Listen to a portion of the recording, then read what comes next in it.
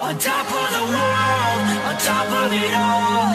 Trying to feel invincible. Yeah, oh, yeah. Oh. Dying on top of the world.